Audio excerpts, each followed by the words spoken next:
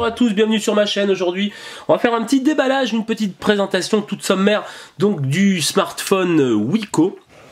Euh, donc ça va être le Ridge 4G, voilà.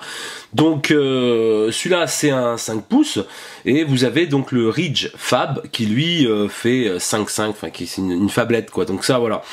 Donc on va faire un petit déballage ensemble. Voilà, donc on retrouve bon petite boîte comme d'habitude, cartonné. Vous retrouverez bien sûr le téléphone dans une petite pochette plastique que voici. Voilà, on en reviendra un petit peu plus tard. On retrouve donc un câble USB euh, plat.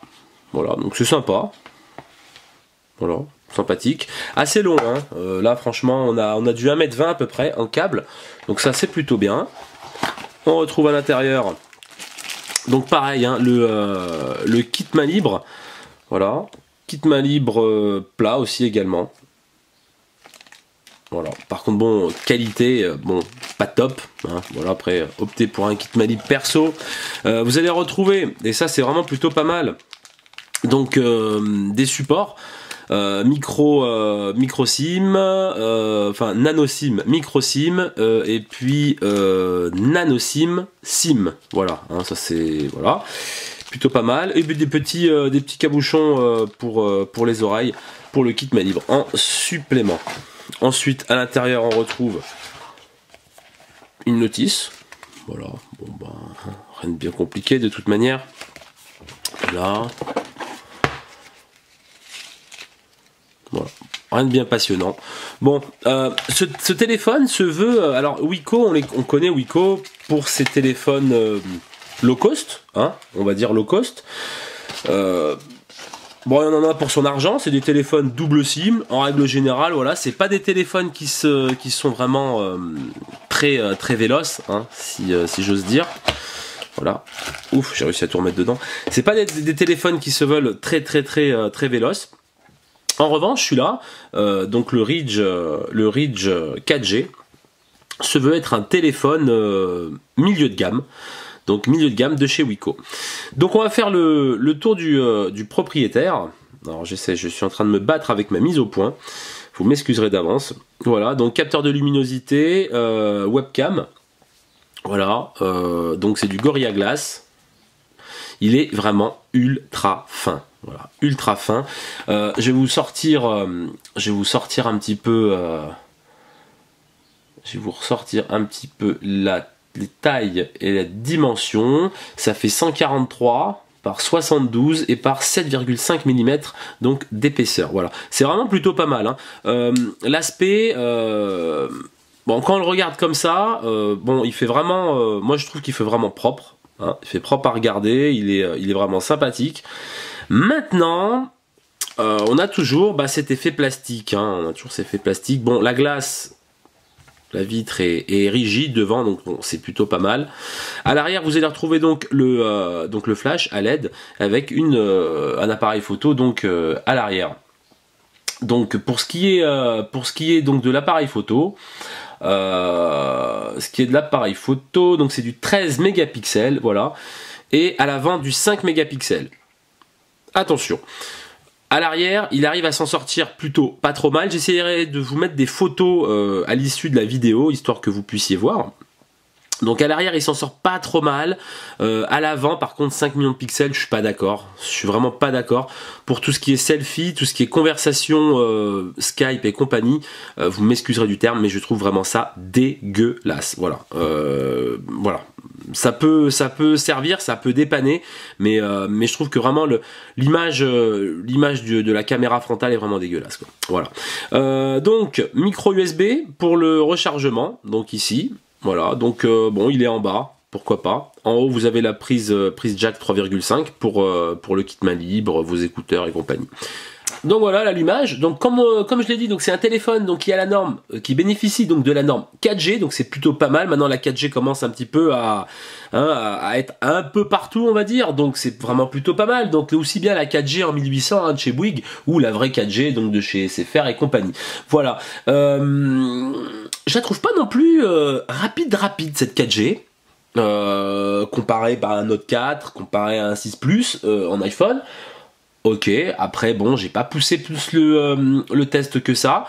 Euh, en ce qui concerne le système d'exploitation, c'est du KitKat, hein, 4.4.4, euh, avec une petite surcouche, donc petite surcouche Wiko, hein, voilà. Une fois n'est pas coutume, Samsung nous a habitués à avoir la, la, surcouche TouchWiz, voilà, que certains aiment et d'autres n'aiment pas, à juste titre d'ailleurs. mais celle-là se veut pas intrusive et, est vraiment bah, très discrète. Hein, voilà, c'est du flat design au niveau des icônes. Euh, voilà. Euh, et puis après stop hein. après on reste sur du stock hein. on reste sur de l'Android stock voilà. Donc c'est un peu le launcher qui est, qui est comme ça. Après le reste euh, voilà.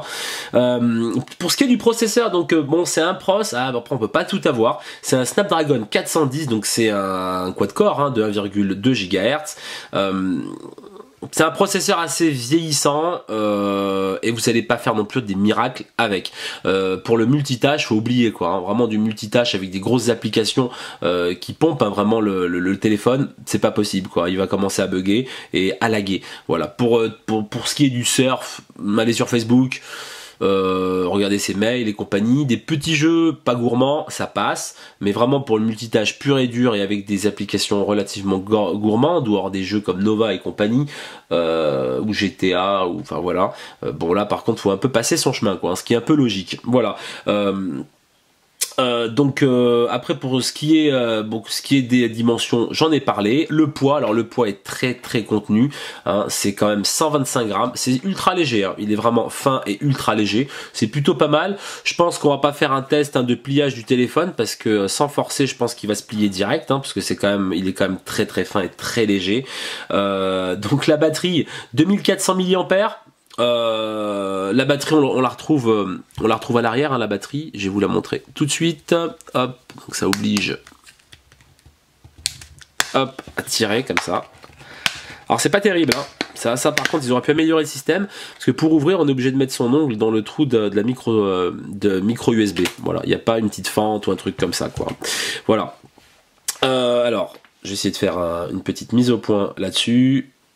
Voilà, enfin essayez, hein, je dis bien.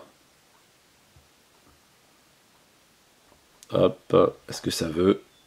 Ouais, ça veut à peu près, on va dire.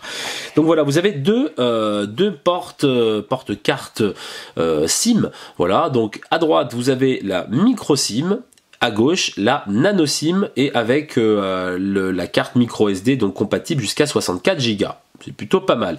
Donc on a un petit tiroir, hein. voilà, on va placer tout le tout l'attirail dedans si vous avez donc la, la 4G, hein, si vous avez la 4G avec votre, euh, votre carte, il faut la mettre à droite, voilà, parce qu'il n'y a que le port euh, micro SIM, voilà, on s'en mêle les pinceaux, on n'a que le port micro SIM de droite qui est compatible 4G, voilà, donc vous n'allez pas pouvoir voir la 4G sur les deux cartes SIM, ça c'est le truc à savoir, voilà.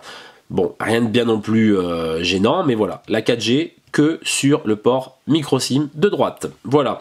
batterie, alors la batterie on ne peut pas l'enlever, voilà, la batterie euh, est euh, intégrée, on va dire, euh, au téléphone et donc on ne peut pas l'enlever. C'est dommage parce que on peut ouvrir le capot à l'arrière du téléphone. ils n'ont pas fait de tiroir comme l'iPhone par exemple, mais on ne peut pas changer la batterie. Donc mesquinerie ou voilà. Mais bon, c'est pas moi à mon avis, c'est pas un téléphone qui va durer dans la longueur, hein, des années et des années, dans la mesure où la batterie fait 2400 mAh et avec une utilisation entre guillemets classique, c'est-à-dire un petit peu de jeu, un petit peu de surf, un petit peu de musique. Euh, j'arrive à peine, mais vraiment à peine à faire la journée. Voilà, mais vraiment à peine. Hein. Donc, euh, donc voilà, ça, a vraiment sollicité la batterie et dans le temps, bah, je sais pas ce que ça va donner si on peut pas changer la batterie quoi. À moins d'enlever ce, cache plastique et peut-être qu'en déniolant un petit peu le téléphone, mais bon après c'est du bricolage et c'est vraiment pas top. Là on a le donc le petit haut-parleur à l'arrière, voilà. Hein petit haut-parleur, rien de bien, euh, rien de bien spécial, quoi. Voilà, donc avec les trous des, euh, haut-parleurs, quoi. Voilà. Donc on remet, euh, on remet la coque. Alors pour la remettre, bon, c'est relativement assez simple. Hein. Et puis il faut la clipper. Voilà, on entend les petits clics.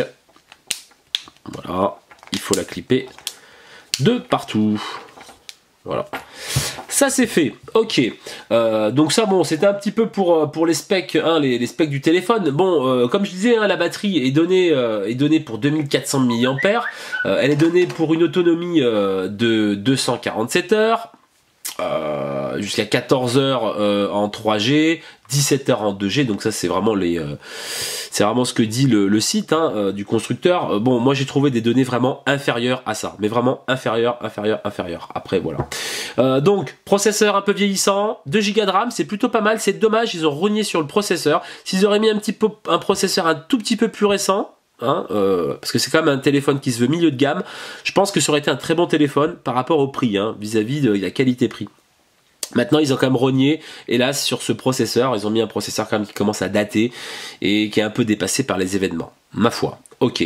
Euh, donc voilà, pour, euh, pour ce qui est des connectivités, hein, connectivité, bah, c'est pas compliqué. On a le Wi-Fi, on a quasiment toutes les normes de Wi-Fi, le B, le G, le N, euh, un Wi-Fi assez stable, euh, un Wi-Fi pas assez puissant. Euh, là où par exemple mon Note 4 va capter le Wi-Fi de ma box, lui ne va pas le capter. Bon, après, bah, c'est la vie, hein on va pas non plus pleurer. donc il a le Bluetooth, voilà. donc le Bluetooth, par contre, ce n'est pas la dernière norme de Bluetooth. ce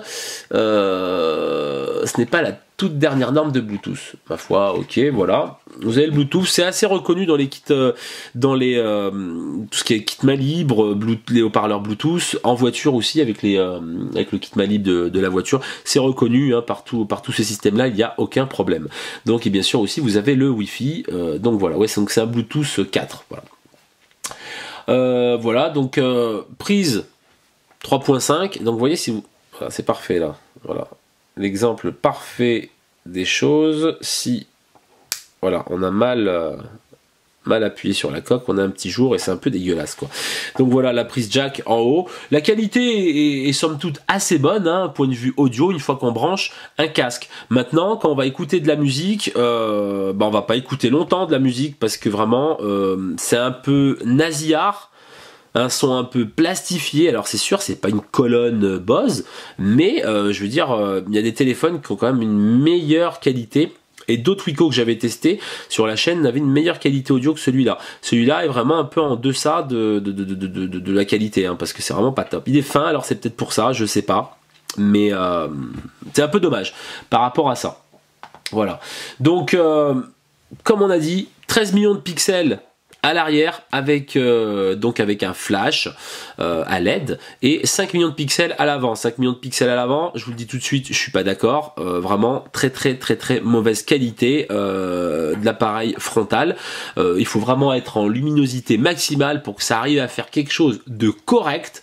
Mais je dis bien de correct parce que c'est vraiment très passable. À l'arrière à l'arrière si vous avez une, luminosité assez, assez conséquente, c'est-à-dire qu'on n'est pas en pénombre et compagnie, ça fait des photos assez propres. Maintenant, euh, le délai euh, de la mise au point est relativement long. Il hein. faut vraiment appuyer et attendre. Voilà, on va pas faire une photo comme ça, tac, sur un moment instanté. Euh, la photo va être floue, quoi, hein, parce qu'il met quand même un certain temps, voilà, à avoir une, une netteté de l'image. Voilà, c'est un peu, c'est un peu dommage, quoi. Voilà, vous avez bien sûr un zoom numérique x4 qui va rendre encore la photo plus atroce et quelques petits effets euh, photographiques euh, euh, comme le sépia, voilà, et compagnie, les négatifs et compagnie. Voilà, c'est pas non plus, voilà, il n'y a pas de quoi se lever la nuit.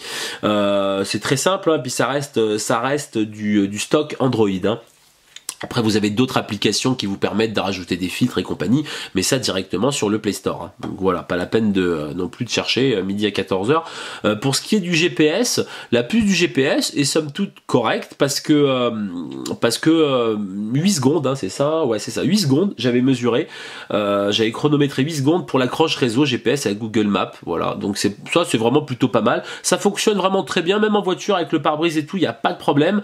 l'accroche du GPS est là, il n'y a pas de souci. Par contre, attention, euh, prévoyez justement l'utilisation d'un chargeur parce que dès que vous allez utiliser la puce GPS, euh, ben, euh, les, pourcentages de batterie ont tendance à descendre comme des secondes. Donc ça va super vite. Voilà. Donc voilà, la batterie c'est vraiment pas costaud, costaud, costaud. Voilà. donc j'essaierai de vous mettre quelques photos Hein, j'essaierai de vous mettre quelques photos donc du euh, à l'issue de la vidéo hein, de ce que fait un petit peu le, téléphone. Euh, voilà, en luminosité. Hein, je vais pas essayer de, vous mettre des photos les plus dégueulasses du monde, mais essayer de voir voilà ce que ça donne au max. Euh, voilà. Hein, après voilà, on en a pour son argent.